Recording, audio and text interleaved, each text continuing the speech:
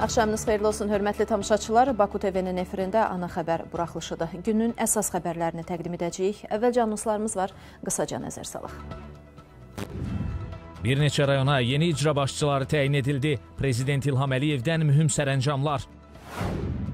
Azərbaycan-İran münasibətləri inkişaf edəcək. Ceyhun Bayramov rəsmi Tehranla əlaqələrin gələcək perspektivindən danışdı. Fransada seçkidən sonra xalq küçələrə axışdı. Etirazlar zamanı polislə toqquşmalar baş verdi. Valih adlı kişi də məni vurmağa başladı. Bakıda bir neçə nəfər yaşlı kişini döydü. Ödəmə terminalını talayıb hadisə yerindən qaçarkən qəzaya düşdülər. Bakıda oğurluq eləyən dəstə üzvləri saxlanıldı.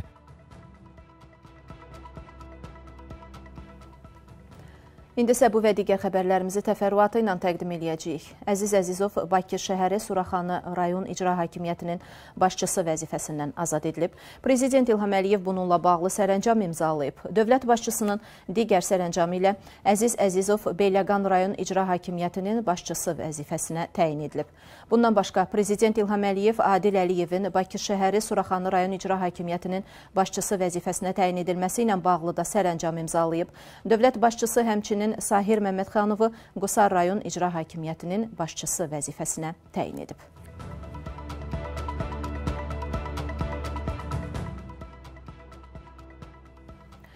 Prezident İlham Əliyev diplomatik xidmət orqanları əməkdaşlarına diplomatik rütbələrin verilməsi haqqında da sərəncam imzalayıb. Sənədə əsasən Əli Mirzamin Əskərova, Fövqəladə və səlahiyyətli səfir Ağalar Atamoğlanov və Faiq Quliyevə birinci dərəcəli fövqəladə və səlahiyyətli elçi, Ayxan Hacızadə, Azər Musayev, Aysel Yaqubovaya isə ikinci dərəcəli fövqəladə və səlahiyyətli elçi diplomatik rütbələri verilib.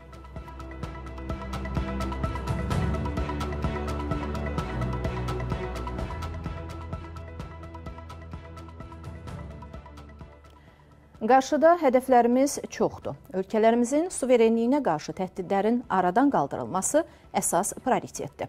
Bu barədə Xarici İşlər Naziri Ceyhun Bayramov jurnalistlərə açıqlamasında danışıb. Onun sözlərinə görə həm iki tərəfli, həm də çox tərəfli platformalarda Azərbaycanın milli maraqlarına cavab verən siyasət təmin edilir. Azərbaycan dövləti sülh gündəliyin müəllifidir və e, uzun e, müddət ərzində 10 illiklərlə baş verən işğal faktı aradan qaldırılandan sonra 44 günlük vətən müharibəsindən demək olar ki, dərhal sonra qısa müddət ərzində artıq 2021-ci ilin yanvar ayında cənab prezident açıq bəyanatla çıxış etdi və bu düşmənçilik səhifələrinin üzərindən keçərək sülh gündəliyini Ermənistana təklif etdi və bundan sonra da bu istiqamətdə atılan bütün addımların ilkin müəllifi məhz Azərbaycan Respublikası olmuşdur və ona gedə bilərəm ki, burada müxtəlif istiqamətlərdə danışıqlar gedir edir. Sülh müqaviləsi üzrə danışıqlara gəldikdə ölkə liderlərinin razılaşmasına əsasən bu işin aparılması Xarici İşlər Nazirliklərinə həvalə edilib və burada iyun ayının sonunda biz Ermənistan tərəfinə artıq sülh müqaviləsinin 10-cu redaksiyasını qarşı tərəfə göndərdik. Mən onu qeyd edə bilərəm ki, sülh müqaviləsinə gəldikdə, sülh müqaviləsinin mətninə gəldikdə burada həqiqətən də açıq sualların sayı xeyli məhdudlaşıb. Bir o qədər çox deyil. Ancaq biz eyni zamanda bilirik ki, bu mətn və sülh müqaviləsi qeyd olunan məqamlardan əlavə Ermənistan əsas qanununda, Ermənistan konstitusiyasında əfsuslar olsun ki, hələ də qonşu dövlətlərə, o cümlədən Azərbaycana qarşı ərazi iddiaları qalmaqdadır. Bu nəinki Ermənistan konstitusiyasında, bir sıra digər normativ hüquqi aktlarda da öz əksini tapıb Ermənistanda. Ancaq təbii ki, bunun əsası ən böyük problema səbəb məhz Ermənistan konstitusiyasıdır və biz qarşı tərəfdən bu istiqamətdə əməli addımlar təbii ki, gözləyirik.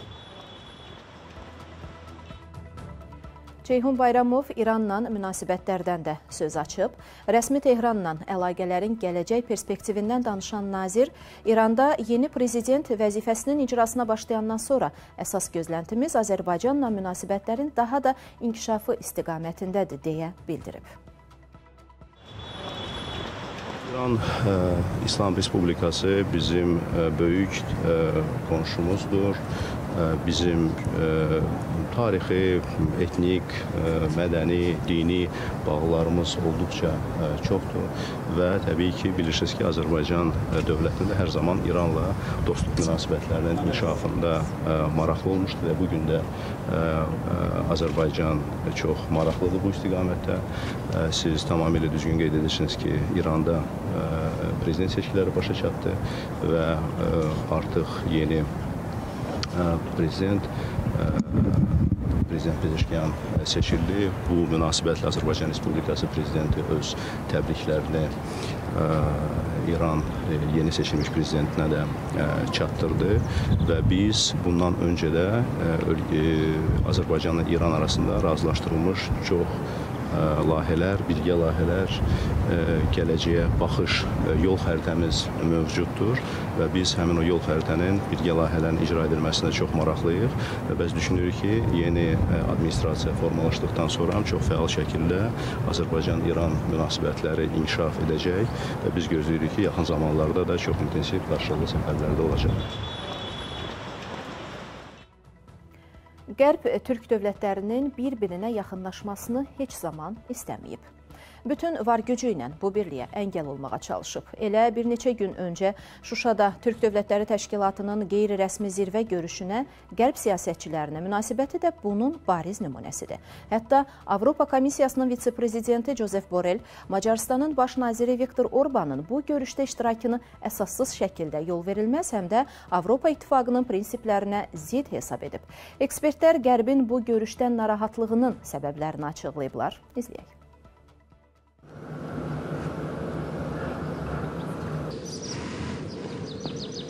Azərbaycanın xarici siyasətinin əsas hədəflərindən biri də türk dövlətləri ilə əlaqələrin genişləndirilməsi, türk dünyasının güclənməsinə töhfə verməkdir. Ancaq Şuşada Türk Dövlətləri Təşkilatının liderlərinin qeyri-rəsmi zirvə görüşündən sonra bəzi qərb siyasətçiləri yersiz narahatlıqlar dilə gətiriblər. Avropa Komissiyasının vitse-prezidenti Josep Borrell, Macarıstanın baş naziri Viktor Orbanın Şuşada keçirilən zirvə görüşündə iştirakını əsassız şəkildə yol verilməz, həm də Avropa İttifaqının prinsiplərinə zidd hesab eləyib. Ekspertlər isə siyasətçinin məlum narahatlığının səbəbini onun ermənipərəst mövqeyi ilə əlaqələndirir.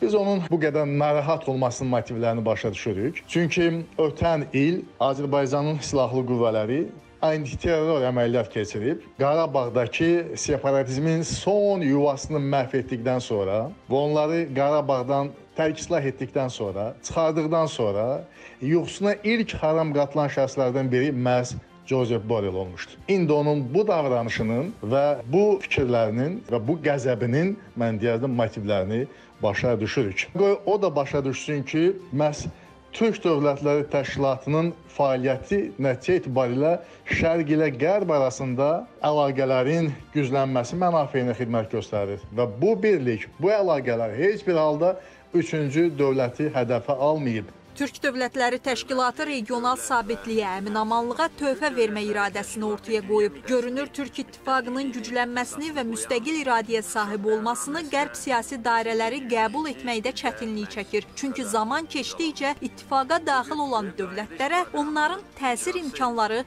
xeyli dərəcədə məhdudlaşır. Qərbin balanssız siyasi xətt izləməsinin səbəbi isə onun tarixən formalaşan irqçi yanaşması ilə əlaqələndirilir. Orbanın bütövlükdə türk dünyasına aid tədbirlərdə iştirak eləməsi birinci hal deyil. Bu da Macarların marağına uyğundur. Çünki Macar dövləti özünü türk varisi hesab eləyir və ona görə də türk inteqrasiyasında önəmli rol oynamağa çalışırlar. Buna da hər hansı bir ölkənin qarışma ixtiyarı yoxdur. Avropa Birliyi bütövlükdə bir irqçi yanaşmanı artıq mənimsəyib. Kipri də Avropa Birliyinə daxil eləyəndə elə fikirləşirlər ki, o biri türk əhalisi yoxdur. 300 mindən artıq türk əhalisini görməzdən gələrək sadəcə bir Kipr Yunanı insan olaraq görməyə çalışdılar və bu günlər Şimali Kipr Türk Cümhuriyyətinin orada müşahidəsi kimi təmsil olunması da bunları narahat edir. Niyə narahat edir? Və siz bu Yunanları alanda öz tərkibinizə utanmadınız və düşünmədiniz ki, bu türk əhalisi də var bu bölgəni. Və ona görə də bu özləri başqalarının hüququnu görməzdən gəlirlər, amma tələb eləyirlər ki, bizim standartlara uyğun davranmalısınız. Türk dünyasının standartları isə bir çox qərb koalisiyalarından fərqli olaraq hüquq bərabərliyi prinsipləri üzərində qurulub. Qeyri-rəsmi zirvə görüşündə imzalanan Qarabağ bəyannaməsi və onun tərkib hissəsi kimi nəzərdə tutulan bir çox inteqrasiya modelləri isə gələcək müasir çağırışlara cavab vermək üçün mühüm sənədlərdəndir. Elə buna görə də riyakar siyasətçilərin əhəmiyyətsiz açıqlamaları Türk xalqlarının siyasi, iqtisadi və bəşəri nailiyyətlərinə mane ola bilməyəcək. İranın yeni prezidentinin and içmə mərasiminin baş tutacağı vaxt açıqlanıb. Ölkə parlamentinin rəyasət heyətinin üzvü bu barədə məlumat verib. O, Pezeşkiyanın təklif etdiyi kabinet üzvlərinin təsdiqi üçün qanunverici orqanın iş qrafikini də açıqlayıb. İranın yeni seçilmiş prezidenti Məsud Pezeşkiyanın and içmə mərasimi avqustun əvvəlində keçiriləcək. Ölkə parlamentinin rəyasət heyətinin üzvü Moçtəbi Yusifi Məsud Pezeşkiyanın təklif etdiyi kabinet üzvlərinin təsdiqi üçün qanunverici orqanın iş qrafikini açıqlayıb. O qeyd edib ki, inaqurasiya mərasimindən sonra 15 gün ərzində nazirlərin siyahısı parlamentin təsdiqinə təqdim ediləcək. Qeyd edək ki, müasir İran tarixinin 9-cu prezidenti olan Pezeşkiyan 16 milyondan çox səslə seçkinin qalibi olub. 69 yaşlı Pezeşkiyan kardiocərrahdır və prezident seçilənədək ölkə parlamentində deputat olub. O 2016-2020-ci illərdə parlament sədrinin birinci muavini, 2001-2005-ci illərdə isə İranın sabiq prezidenti Məhəmməd Hatəminin hökumətində səhiyyə naziri olub. İranla münasibətləri kifayət qədər yaxşı olan Ermənistanda indi vəziyyət heç də ürək açan deyil. Buna səbəbsə Azərbaycan türkü olan Məsud Pezeşkiyanın prezident seçilməsidir. Bu rəsmi rəvanda kifayət qədər narahatlıqla qarşılanıb, hətta bəzi ekspertlər ermənilərə təsəlli vermək üçün gülünc açıqlamalar verib. İranda Milliyyətçi Azərbaycan türkü olan Məsud Pezeşkiyanın prezident seçilməsi Ermənistanda ciddi narahatlıqla qarşılanıb. Ölkə mətbuatı, erməni politoloqlar və siyasi şərhçilərin Məsud Pezeşkiyanın prezidentliyi dövründə İranın Cənubi Qafqaz regionuna yönəlik siyasətinin necə olacağına dair fikirlərinə geniş yer verir. Pezeşkiyanın İrandakı qələbəsindən çoxları narahatdır və bəlkə də əsassız deyil. Onu Azərbaycanlı hesab edirlər. Bundan əvvəl biz Baydenin mümkün məğlubiyyətindən narahat idik. Əvvəllər Makronun məğlubiyyətindən əndişələnirdik. Bəlkə də bütün bu narahatlıqlar məqsədə uyğundur. Lakin biz bir neçə əsrdir ki, düzgün nəticəyə gəlməmişik deyə Ermənistanın Hraparak qəzeti yazıb. Bu kimi yazılarda Pezeşkiyanın milliyyətinə, etnik Azərbaycanlı olmasına da xüsusi diqqət çəkilir. Bəzi erməni ekspertlər isə Pezeşkiyanın Azərbaycan türkü olmasını təksib etməklə ermənilərə təsəlli verməyə çalışırlar. Məsələn, İrəvan Dövlət Universitetinin İranşünaslıq şöbəsinin müdiri Vardan Voskanyan Azərbaycan mətbuatında İranın yeni prezidentinə geniş yer ayrılmasını qısqanclıqla qarşılayıb. O, Məsud Pezeşkiyanın Azərbaycanlı olmadığını vurğulayaraq, Pezeşkiyan İranlıdır deməklə ermənilərə təsəlli verməyə çalışıb. İran məsələləri üzrə siyasi ekspert Qariq Misakyan isə gülünc bir açıqlama verib. Bildirib ki, Məsud Pezeşkiyan əslən Atropatekanın türk dilli hissəsindəndir, amma orada yaşayanların hamısı İranlıdır. Biz isə bütün bu yazılanlara Güney Azərbaycanlı Məsud Pezeşkiyanın sosial şəbəkələrdə yayılan müsahibəsi ilə cavab vermək istəyirik. Mən türkəm, mən Azərbaycanda dünyaya gəlmişəm, atam da türkdür, anam da türkdür. Fransada növbədən kənar parlament seçkilərindən sonra etirazlar başlayıb. Belə ki, siyasi bloklardan heç birinin 289 mandatın mütləq əksəriyyətini əldə edə bilməməsi ölkədə yeni hökumətin formalaşdırılmasını çətinləşdirir. Buna görə də Fransada ixtişaşlar başlayıb. Daha ətraflı sujetdə. Fransada keçirilən növbədənkənar parlament seçkisinin ikinci turunda Yeni Xalq Cəbhəsi Solcu Alyansı qalib gəlib. Onlar Milli Assambleyada 182 yer qazanıb. Solçu namizəd Jean-Luc Mélenchon qələbəsini tərəfdarları ilə birlikdə Stalingrad meydanına toplaşaraq qeyd edib. Prezident Emmanuel Macrona məxsus Birlikdə koalisiyası 168 mandatla ikinci sırada qərarlaşıb. Marine Le Penin Milli Birlik Partiyası isə parlamentdə 143 yer tutaraq üçüncü olub. Lakin buna baxmayaraq siyasi bloklardan heç biri 289 mandatdan mütləq əksəriyyətini əldə edə bilməyib. Bu nəticə isə ölkədə yeni hökumətin formalaşdırılmasını çətinləşdirir.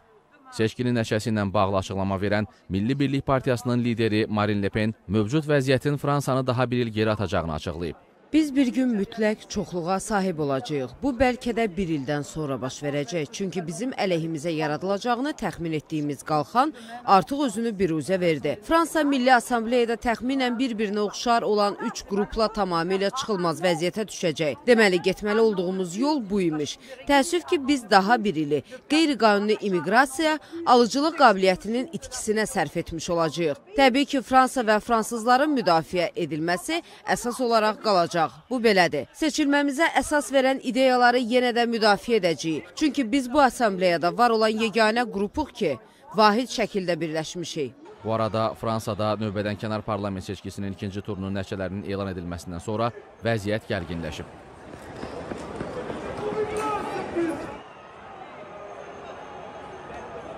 Parisin mərkəzində Solçu Yeni Xalq Cəbhəsinin tərəfdarları nümayişlərə başlayıb. Etirazçılar polisə daş və butulka atıb, daha sonra isə velosipedləri yandırıblar. Buna cavab olaraq hüquq mühafizə orqanlarının əməkdaşları göz yaşardıcı qaz və rezin dəyənəklərdən istifadə ediblər. Nant şəhərində keçirilən aksiyada isə bir polis əməkdaşı xəsarət alıb. Xatırladaq ki, Fransa prezidenti Emmanuel Macron prezident koalisiyasının Avropa parlamentinə seçkilərə məğlub olmasından sonra iyunun 9-da Milli Assambleyaya növbədən kənar seçkilər təyin edib. Seçkilərin birinci turu iyunun 30-da, ikinci turu isə iyulun 7-sində baş tutub. İspaniyada da xalq küçüyə axışıb. Buna səbəbsə ölkəyə kütləvi turist axınıdır. Yerli medianın xəbərinə görə aksiyaçılar, o cümlədən 150-dən çox qeyri-hökumət təşkilatının nümayəndələri şəhər boyu turistlərlə bağlı bir sıra şüarlar səsləndiriblər. İspaniyada minlərlə insan ölkəyə kütləvi turist axınına etiraz etmək üçün yürüş keçirib. Yerli medianın xəbərinə görə aksiyaçılar o cümlədən 150-dən çox qeyri-hökumət təşkilatının nümayəndələri şəhər boyu turistlər evə qayıdın, yetər, turizmə məhdudiyyət qoyaq kimi şüarlar səsləndirib, restoranda oturan turistləri əllərində su tapançaları ilə isladıblar.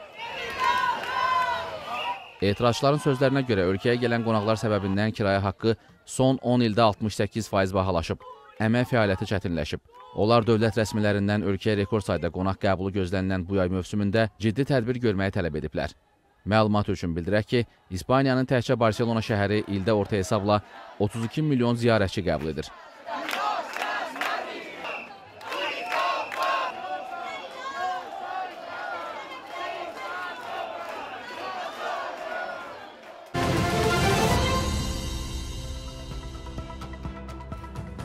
Bakıda bir neçə nəfər yaşlı kişini döyərək ona xəsarətlər yetirib. Hadisə Nəsimi rayonu Mövsüm Sənani küçəsində qeydə alınıb. Əməkdaşlarımız hadisə yerində olub, zərər çəkənlə həm söhbət olublar. Təfərrüatlar isə indi təqdim edəcəyimiz sujetdə olacaq.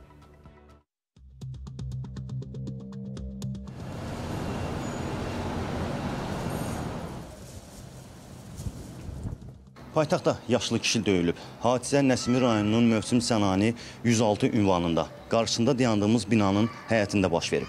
Gördüyünüz bu ərazidə yaşlı kişi bir neçə nəfər şəxslə mübahisə edib. Mübahisə zamanı həmin şəxslər onu döyərək ağır bədən xəsarətləri yetirib. Hadisə demək gecə saatlarında futbol maçından sonra, hardasa 1-dən sonra, yəni biri 2-nin yarısı radələrində baş verdi. Belə ki, gecə saatlarında bir də gördüm çöldən səs gəlir. Çıxdım balkona, gördüm qonşu həyətdən nəsə hündür səslər, hündür tondan səslər gəlir. Nəsə düşdüm aşağı, get, keçdim qonşu həyətə və onu gördüm ki, əvvəllər, yəni belə deyim də, aprelin 27-sində həmin şəxslərdən, həmin şəxslə problem yaşanmışdı elə eyni mövzunun üstündə. Yaxınlaşdım, deyəm ki, bəs keçən dəfəki bəs eləmədi. Bəs yenə səs salırsan, bu nədir belə elə? Ha, mən səs salmıram, sən kimsən gəlirsən gecə vaxtı mənə deyirsən ki, səs salma, nə, nə, nə və s. və elə axır. Və ani surətdə başladılar mənə hücum eləməyə. Demək, bir kişi xaylağı, bir də yanında iki qadın. Sən deyir, mən hamilə qadınam, sən məni vurmusan, sən mənə hücum eləmirsən, sən belə elə. Mən daha bildim ki, bu artıq şər xatadır və həmin yerdən qərar verdim çıxıb getməyi. Gəldim yaşadığım binanın həyətinə, bunlar da mənim dalımca.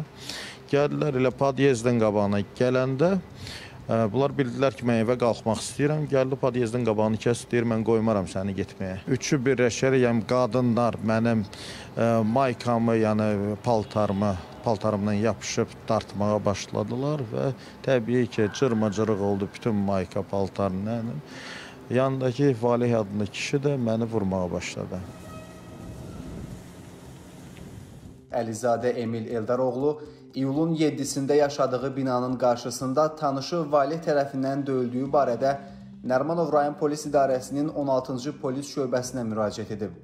Araşdırma zamanı müəyyən olunmuşdu ki, vətəndaş Emil Əlizadəni döyən şəxs paytaxt sakini olan 1985-ci il təvəllüdlü Rəhmanov Valih Əkbəroğludur. Valih Rəhmanov polis şöbəsinə gətirilərək izahata alınıb. Hadisə ilə bağlı araşdırmalar davam etdirilir.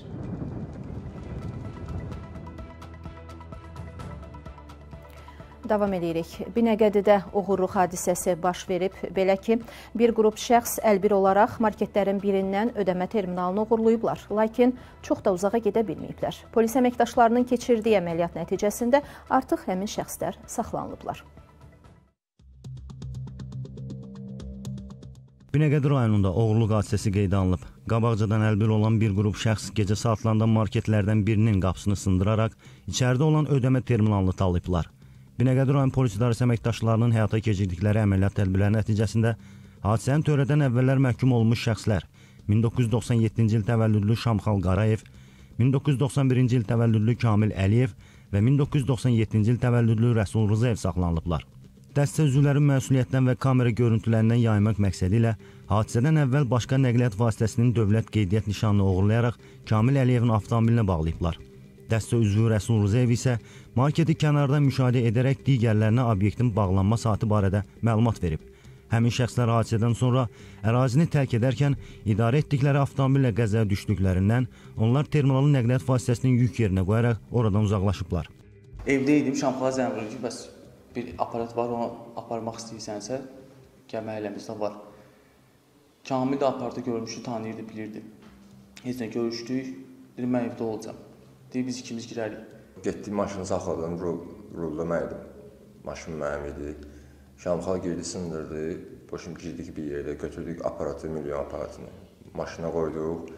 E, maşına qoyandan sonra oradan bir dənə maşın çıxdı.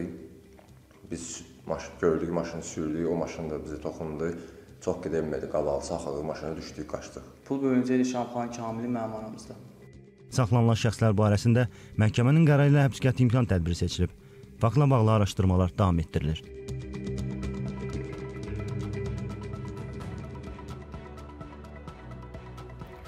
Kürd Elnur kimi tanınan Elnur Abbasov yenidən hakim qarşısına çıxıb. Proses Bakı Ağır Cinayətlər Məhkəməsində baş tutub. Faiq Qəniyevin sədrliyi ilə keçirilən məhkəmə hazırlıq iclasında dövlət ittihamçısı cinayət işinin məhkəmə baxışına verilməsini istəyib. Bakı Ağır Cinayətlər Məhkəməsində Cinayət Məcəlləsinin bir neçə maddəsi ilə təqsirli bilinən Abbasov Elnur Tofiqoğlunun məhkəmə prosesi başlayıb. Hakim Faiq Qəniyevin sədrliyi ilə keçirilən məhkəmə hazırlıq iclasında Kürd Elnur kimi tanınan Elnur Abbasovun anket məlumatları dəqiqləşdirilib. Daha sonra dövlət ittihamçısı cinayət işinin məhkəmə baxışına verilməsini istəyib. Məhkəmə iclasında təqsirlənən şəxsin vəkili Elnur Abbasovun həbsinin ev dustaqlığı ilə əvəz edilməsi üçün vəsadət verib. Dövlət ittihamçısı isə vəsadətin təmin olunmasına etiraz edib. Hakimlər müşavirədən qayıtdıqdan sonra vəkilin vəsadətini təmin etməyib. Qeyd edək ki, Elnur Abbasov bu ilin yanvarında Daxili İşlər Nazirliyinin baş mütəşəkkil cinayətkarlıqla mübarizə idarəsi tərəfindən saxlanılıb. Ona qarşı cinayət məcəlləsinin xuliqanlıq, qanunsuz olaraq odlu və soyuq silah əldə etmə və gəzdirmə, qanunsuz olaraq narkotik vasitələri, psixotrop maddələri əldə etmə, saxlama, daşıma, göndərmə və ya satma maddələri ilə ittiham irəli sürülüb. Göyçayda bıçaqlanma hadisəsi baş verib. Belə ki, yeniyetmələr arasında düşən mübahisə onlardan birinin xəsarət alması ilə nəticələnib. Yaralı xəstəxanaya yerləşdirilib, digər isə saxlanılıb. Göyçayda bıçaqlanma hadisəsi baş verib. İki yeniyetmə arasında başlanan mübahisə birinin xəsarət alması ilə nəticələnib. Yaralı ətrafdakı insanların köməyi ilə rayon mərkəzi xəstəxanasına aparılıb. Göyçay rayonunda baş vermə bıçaqlama hadisəsi nəticəsində 2006-cı il təvəllüdlü e, Bərdə rayon sakini, kişi cinsindən olan şəxs qəbul şöbəsinə daxil olmuşdur. Daxil olarkən müayinə zamanı e, onun üzərində başın e, ənsə nahiyəsinin səthi kəsilmiş yarası, döş qəfəsinin sol yarısının sol qoltuq altı xətti üzrə kəsilmiş, deşilmiş yarası və də sol dirsəyin kəsilmiş yarası müəyyən edilmişdir. Və ona müvafiq yardımlar göstərildikdən sonra, müəyyən təyinatlar verildikdən sonra evə yazılmışdır polis əməkdaşlarının həyata keçirdikləri tədbirlərlə əməli törədən yetkinlik yaşına çatmayan şəxs saxlanılaraq qizaltı alınıb. Xəsarətin dərəcəsinin müəyyən edilməsi məqsədi ilə məhkəmə tibbi ekspertizası təyin olunub və hazırda rayon polis şöbəsində araşdırmalar davam etdirilir. Ekspertizanın rəyindən və araşdırmanın nəticəsindən asılı olaraq müvafiq qərar qəbul ediləcək. Bakıda Şanxay Əməkdaşlıq Təşkilatı nümayiş zonası Azərbaycanda logistika və ticarətin təşviqi mövzusunda konfrans keçirilib. Çıxış edən Çinin Azərbaycandakı müvəqqəti işlər vəkili Dintao iki ölkə arasındakı əlaqələrə diqqət çəkib. Onun sözlərinə görə Çinlə Azərbaycan arasında iqtisadi əlaqələr yüksək səviyyədədir və iki ölkənin iqtisadi göstəriciləri rekord səviyyəyə çatıb. 32 il əvvəl diplomatik münasibətlərin qurulmasından bu yana iki tərəfli münasibətlər zamanın sınağına tab getirmiş, həmişə sağlam və sabit şəkildə inkişaf etmişdir. Yenicə başa çatmış çətin Astana zirvə toplantısı zamanı Çin Azərbaycan dövlət başçıları uğurla görüşdülər.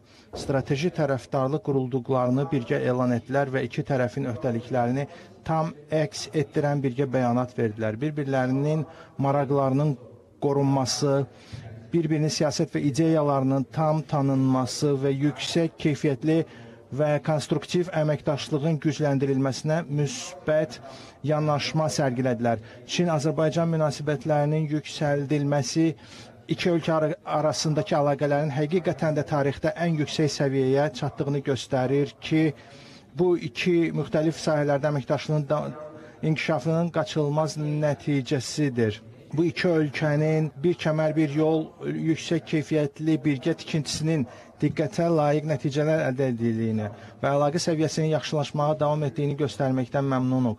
Azərbaycan statistikasına görə 2023-cü ildə Çin-Azərbaycan ticarəti rekord həddə çataraq bu ilin əvvəlindən 43.5 faiz artaraq 3.1 milyard dollara çatmışdır. Hər iki tərəfin birgə səyləri ilə Çin-Avropa dəmir yolu ekspres dəhlizinin imkanları genişlənməkdə davam etmişdir. İndiyədək ona yaxın Çin şirkəti Qarabağ bölgəsində biznes qurmaq üçün müraciət edib. Bunusa tədbirdə çıxış edən İqtisadiyyat Nazirliyinin tabeliyindəki Kiçik və Orta Biznesin İnkişafı Agentliyinin idarə heyətinin sədri Orxan Məmmədov deyib. Onun sözlərinə görə bu ərazilərdə inkişaf çərçivəsində həyata keçirilən ağıllı şəhər və ağıllı kənd konsepsiyaları innovativ həllərdən istifadəni tələb edir.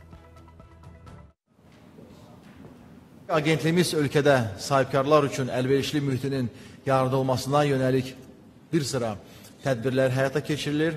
E, bir pəncərə prinsipi ilə iş adamlarına vahid məkanda e, G2B və B2B xidmətlərinin göstərilməsi, 50-yə yaxın e, rayon və şəhərlərimizi əhatə edən KOB dostları şəbəkəsi, sahibkarlara ödənişsiz təlimlər keçirən KOB inkişaf mərkəzləri və 15 e, assosiasiyanın daxil olduğu İctimai Şuranın fəaliyyəti. E, maliyyə dəstəyi xidmətlərimiz sırasında yerli e, bazar araşdırmaları, elm təhsil tədqiqat layihələrinin həyata keçirilməsi üçün müxtəlif qrantlar, məhsulların iri ticarət şəbəkələrində tanıdılmasına dəstək kimi alətlərimiz də vardır. Biz həmən bu təcrübələri Çinli həmkarlarımızla bölüşməklə və birgə biznesə dəstək proqramlarını hazırlamaqda maraqlıyıq. Agentliyimizin əsas hədəflərindən biri də e, Qarabağ ərazisində biznes sektorun e, bərpasının dəstəkləməsi, dəstəkləməsidir. İşğaldan azad edilmiş ərazilərimizdə e, biznes qurmaq istəyən həm yerli, həm xarici sahibkarların biznes layihələri Kobiya tərəfindən toplanılır. Burada prioritet sahələr tikinti, turizm, mədən çıxarma, nəqliyyat, kənd təsərrüfatı, e, istehsalat və digər sahələri əhatə edir. İndiyədək e, qeyd edim ki, ona yaxın e, Çin şirkəti həmin ərazilərdə biznes qurmaq üçün agentliyimizə müraciət etmişdir. Bu ərazilərdə inkişaf çərçivəsində həyata keçirilən ağıllı şəhər və ağıllı kənd konsepsiyaları innovativ həllərdən istifadəni tələb edir. Və sonda Bakıda avtomobil həvəskarları yenidən bir araya toplaşıb. Belə ki, paytaxtda Drive Show keçirilib. Qeyd eləyək ki, proqramda Drift Show da yer alıb. Həmçinin Drive Show çərçivəsində xüsusi yığılan avtomobillərin nümayişi də keçirilib.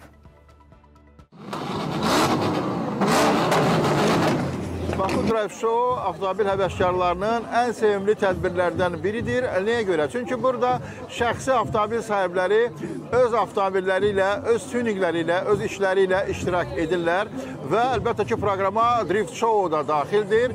Gördüyünüz kimi, bax bu həddən o yana yalnız drift olan avtomobillər keçə bilərlər.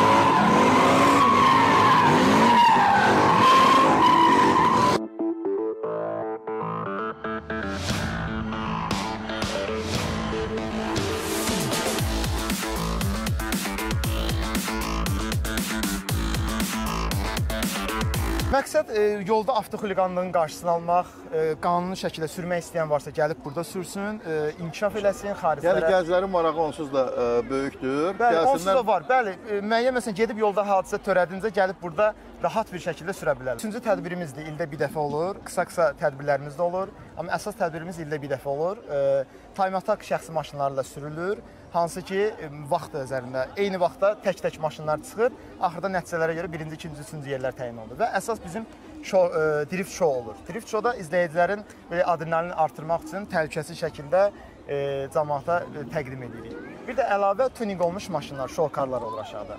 Onlar sadəcə nümayiş olunur. Sadəcə bəli nümayiş olunur ki, həvəskar maşınlar kimi.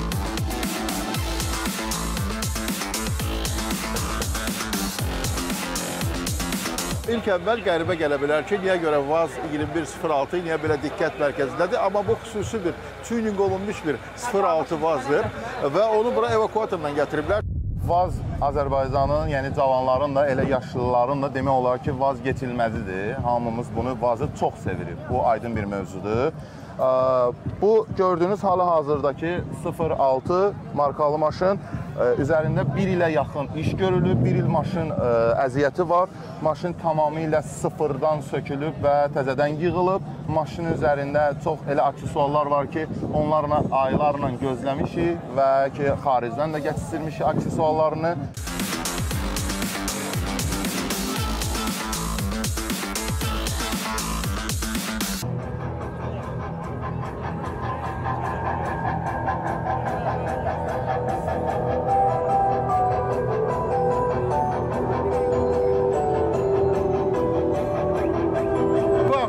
Əsl şou göstərir. Sanki qanadlarını açaraq uçmaq istəyir və eyni zamanda musiqi bunu müşahidə edir.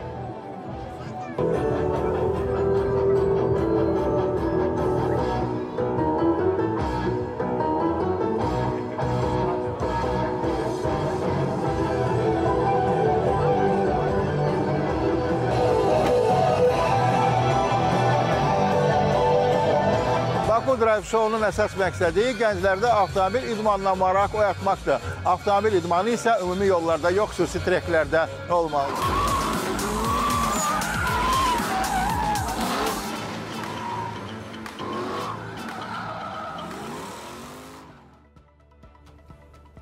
Ana xəbər buraxılışından sizə təqdim edəcəyimiz xəbərlər bununla da yekunlaşdı. Hörmətli tamaşaçılar, digər xəbərlərimiz isə sosial şəbəkə hesablarımızda yayımlanır.